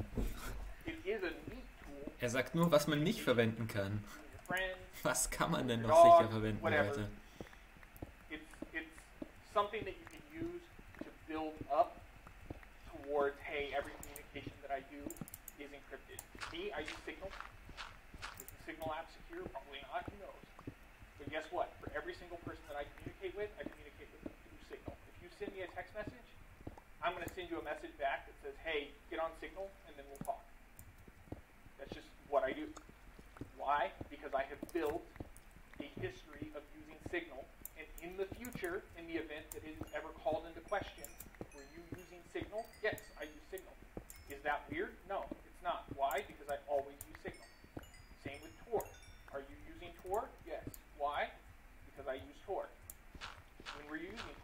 time. It's not, I just get on Tor to do bad stuff. Jetzt klingt er wieder so, als würde er gelegentlich irgendwelche Bad Stuff Sachen machen. I'm Wisst, ihr, was tour. ich meine? Guess what? the only time you were on tour was when you were doing bad stuff. The only time bad stuff was happening is when you were on tour. Guess what? That's correlation. That's one for one. Ja, aber. Aaron Jones, machst du Bad Stuff? Junge. Ich weiß, das ist die falsche Frage, aber... What did I just say? Encourage the use of cryptography and visual signing in business. Add the word private life to there as well. Learn to sign your communications. When you send an email, make sure that it's signed. You're not just doing it to be fancy. You're doing it to build a historical record of that behavior and of what you do. And then I have a glossary in here. What's PGP? What's GNU PG? What's GPG for Win? Because there are some people who use Windows. Don't. And then of course there's key server and that's all broken down that way. So we have a little bit of time. Open for questions. Anybody have any questions? Anything that I can answer or anything that I need to cover? Yes. Um, when when you're talking about jobs, wouldn't a Red Hat certification be pretty something nice that people would consider? Sure.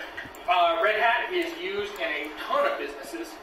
The vast majority of companies that are using Linux are using Red Hat. There's a lot of people who use Red Hat, and if they're not using Red Hat, they're using CentOS.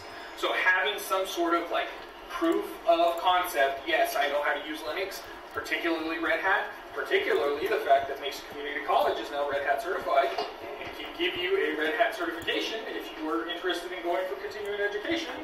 If you're looking for Red Hat Oh, stuff, yes, there are places mit der you can go, yes, Red Hat is a good certification. However, there are more than just those certifications. There's a ton of different ones. Are you going to find somebody using Manjaro Linux at a business? Probably not. I mean, it's just the likelihood pretty low. Are you going to find somebody using Ubuntu server? Probably much higher than Manjaro. Are you going to find a business using Red Hat or CentOS? Probably even higher. Yes. Uh, so yes, some way of proving your Linux capabilities is very important for your resume. But in addition to that, like I said, it's breaking it down based on where do you want to work, what information do you need to have to put on that resume, and what's the most cost effective. If you look at that list and you see everybody has three certifications, potentially, if you can't afford it, looking at that list and finding the most expensive certification to get first may not behoove you. You may want to break it down from least expensive certification, next least, and then finally the most expensive. Still have to go there. But if you can get your foot in the door, a lot of companies do pay for continuing education, so keep that in mind. Sometimes it helps to get the whatever the minimum is to get the foot in the door, and then once you're in, get them to pay for the rest of your education. Okay? Yes.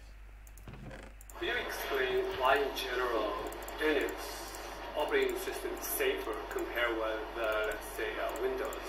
Ooh, you want to start an argument? That's going to start a huge fight. So the question was presented: Why is Linux, in general, considered safer than Windows? Let's go. So there are many reasons that people cite. I'm going to cite the reasons that people provide, and then I'm going to try to hope that nobody jumps up here to like fight me in the middle of the TV. so, number one, there is an idea, and I agree with this idea on a personal level, that open source software is more secure than closed source software, regardless of the fact whether or not people are checking Was their ist mit software mir? Das geht ja richtig ab hier. On the purpose of if there is a problem, fix it quicker and have more concern and care about those problems in a closed, in an open source operating system than in a closed source. Windows being closed source, aka you and I and anybody in this room legally do not have access to the Windows operating system source code, whereas all of us here have access to all of the source code that's available for Linux. Okay? So ja, nicht die Closed Source now, Treiber. the counter argument to this is just because it's available doesn't mean people are looking at it. And, and that's just the fact of life. How many people can raise their hand and say that they have gone line by line through every piece of code in the Linux kernel? If, well, theoretically, even he has. He looks at a lot of the stuff, but he, he does delegate some of it. So when he started, sure, if we go all the way back to, to Linux kernel 1.0, yep, we could he could probably say, yes, I've looked at every single line of code on this. Now, not so much. Okay, so just because it is available doesn't mean everybody's using it, but it's it's the potential for being there. Number two, the security, Also irgendwer um, liest immer. the underlying security style. Das klingt immer so, niemand hat alles gelesen. Ja, aber ich sag euch, jede Zeile, die da reinkommt, wird von irgendjemandem überprüft. So, das ist auf jeden Fall mal ein Fakt, den ich mir jetzt ausgedacht habe, aber ich bin mir ziemlich sicher, dass das so ist. Ähm, genau. Und das ist bei Source halt nicht zwingend der Fall. Oder da schauen weniger Leute drüber. in Linux is essentially the Soviet style, which is nothing committed except for what we say it is. That's why you sudo up for everything.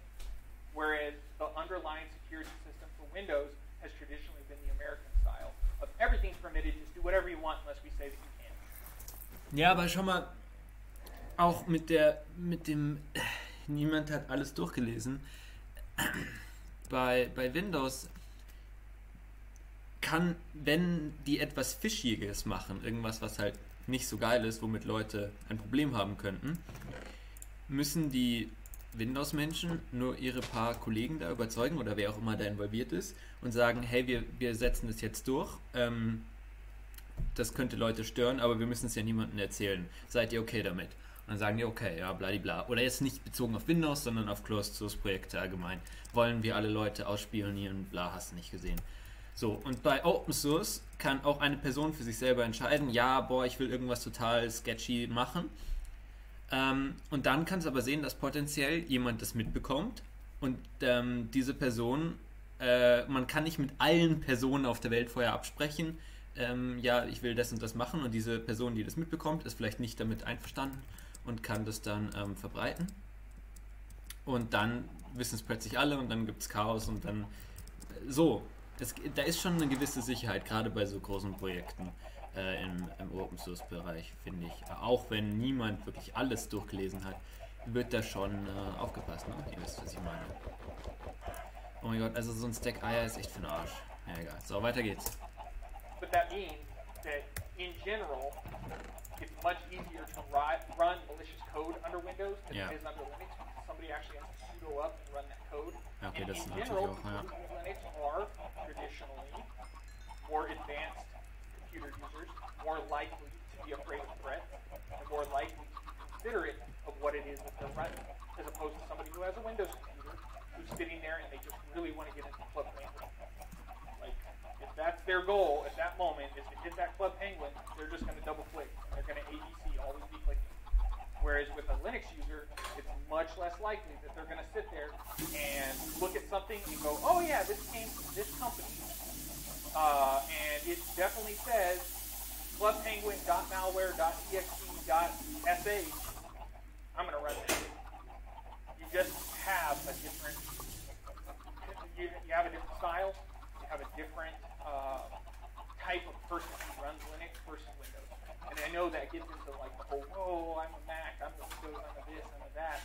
And, but in general, you will see people who run Windows are different from people who run Linux.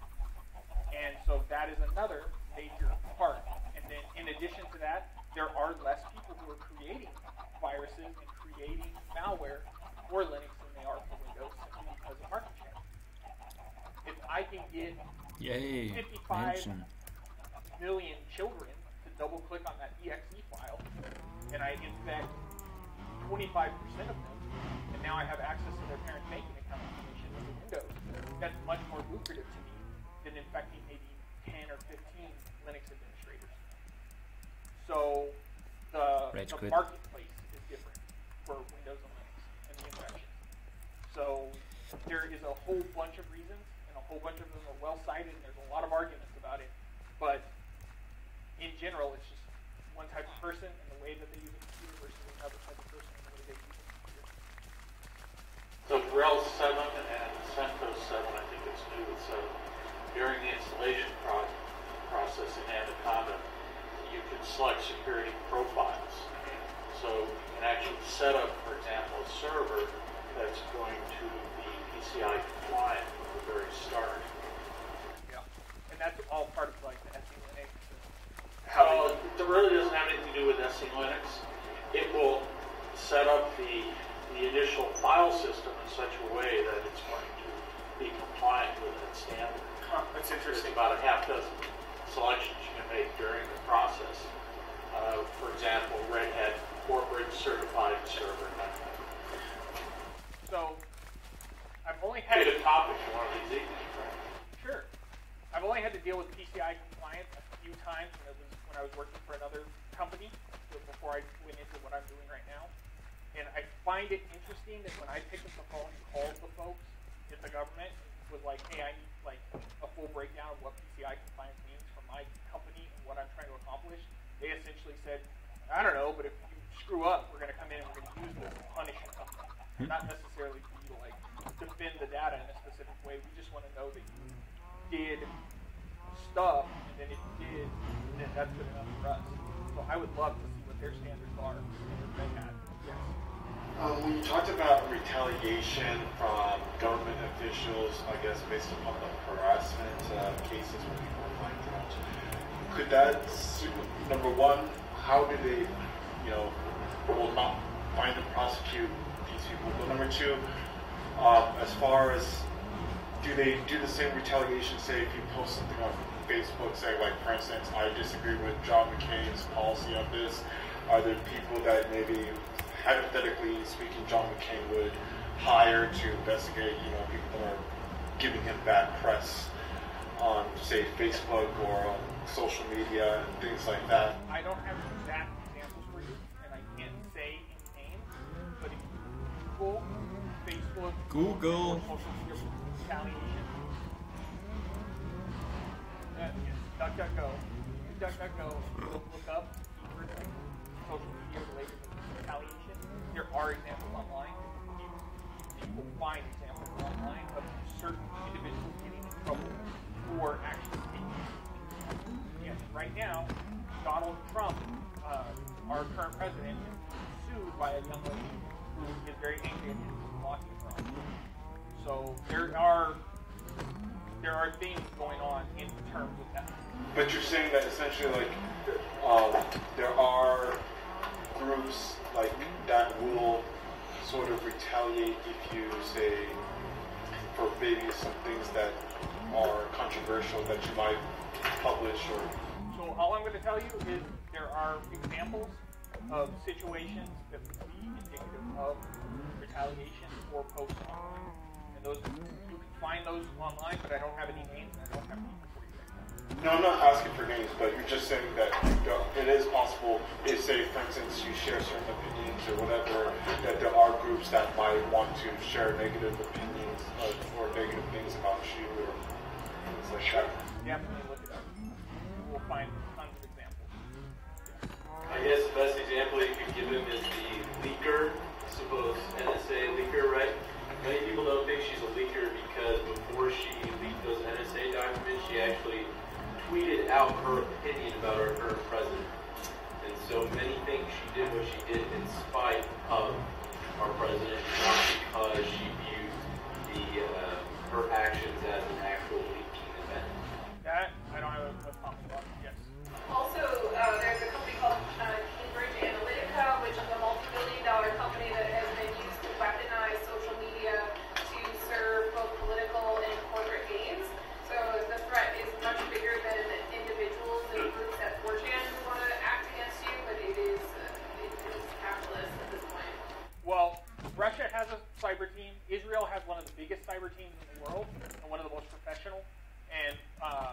three quarters of the Israeli cyber counterterrorism slash social media team is um, dedicated entirely to spreading pro-Semitic information online. Oh, So, Feather Falling, das brauche ich. Ich fall über. Ja, okay, nur Feather Falling, Very, aber. very Ja, nee, ich fall so viel Uh, immer runter, Leute. very, very laser-like focus on making sure that people have a good opinion about Israel. And they will regularly post in threads and spend a lot of time on web pages like 4chan working that. And that's also well known because of the fact that if you, so I'll get with you in just a second. If you are a person who is under the age of a certain specific age group in Israel, you have to do mandatory military service. If you go to specific schools in Israel, then you sort of get funneled into very specific places that you can go for training. And if you show an aptitude in computer hacking or in working with certain things, then you get funneled to very specific teams. And those very specific teams are well known for then funneling those people back out into companies and into businesses where they're hired very, very quickly because of their skill set. And that's all sort of well known in the the information technology slash information security like group.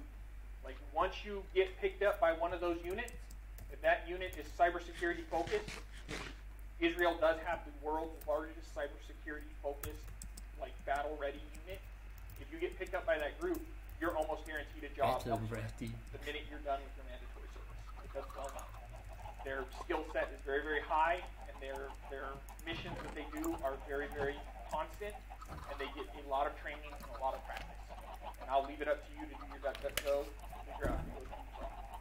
So yes, you, Uh, A question for you and for everyone in the room.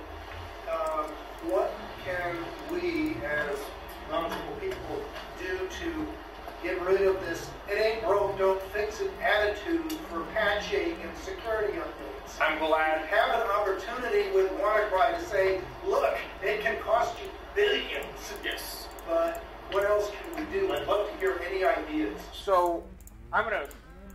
My show. I'm gonna interrupt first. uh, Microsoft. Anybody here go to the Microsoft store over here at the, the Fashion Center? Did you know they have classes constantly? Cool classes, good classes that start all the way from little, little knee-high kids, where you can come in and you can learn about Minecraft. Did you know Apple? Alter, ist es jetzt hier Dauerthema on a daily oder was? You can go in there every single day to the Apple Store and learn something. I'd go to the Apple Store constantly. Why? Because I'm taking classes.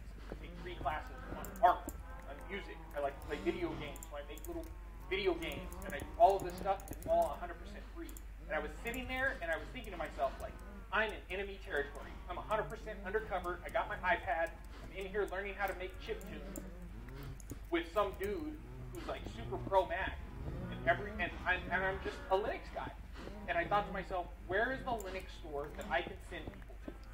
And then after a few minutes, I realized, oh, I'm the Linux dude. Mm-hmm. I have to go out and I have to teach people. And guess what? Every single person in this room, you're the Linux person. You have your circle of friends. You have your circle of contacts. You have all of the people that you can teach, that you can train. You come here and do talks. we're constantly looking for people to contribute. You can ask, hey, can we do like a training thing? If you know Linux stuff, or if you want to share that stuff. Because guess what? Windows is doing it, Mac is doing it, everybody's doing it, but not enough of us in the Linux community are doing it. And if we're not doing that, if we're not contributing to Linux in some way, and guess what? You don't have to be a coder. Now, not a single person in here has to write a line of C and go out there and contribute to the kernel.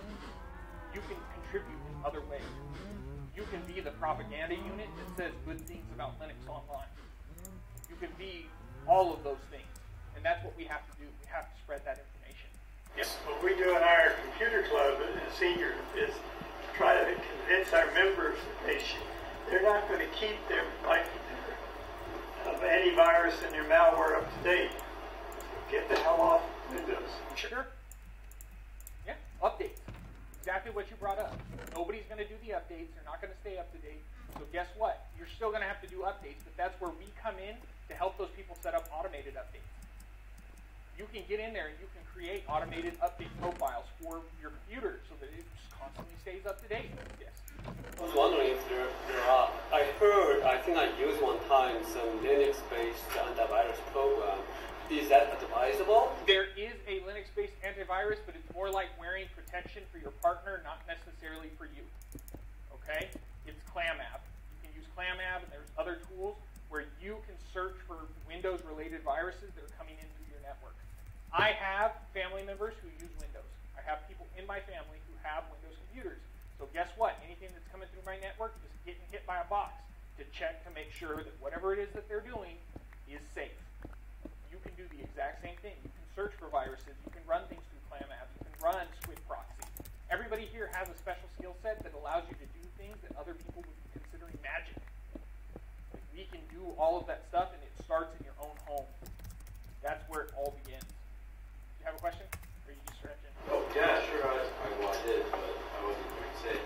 Uh, in relation to WannaCry, we have to remember it was a re-weaponized weapon. Yep. So it was an NSA tool to be leveraged against now ourselves. And you have the same thing with the CIA's Vault 7, right? So all the big guys who had cyber squads in the U.S., they've all lost their tools. And they're all going to come back and bite everyone back in the butt. So, and and really, now you can get into should the government harbor zero days or should they not? Well, they're allowed to hold zero days for at least two years before they have to report it. And if you trace back to when Microsoft actually released the patches, the NSA held out for the longest period of time before they realize we need to let Microsoft know so they can make a fix. So, I mean, whether it's broke, don't fix it, what we do, et cetera, et cetera, I think there's more, it's more than just the people and our users, and more should our government be paying corporations like Microsoft or Apple or whoever they might be to actually put this in software. Not even that, they're actually starting to get it tuned to open source, and they're actually paying their analysts to review open source code for potential vulnerabilities. And then they put it all in their Fusion Center, they do the same type of stuff, and they develop exploits. So, thank you. I would say that 99% of that is accurate. But there's one thing that you're missing, and then we're going to shut it down. And the one thing that you're missing is that there are open source projects who have stated that they have had malicious code either inserted into their projects purposely or been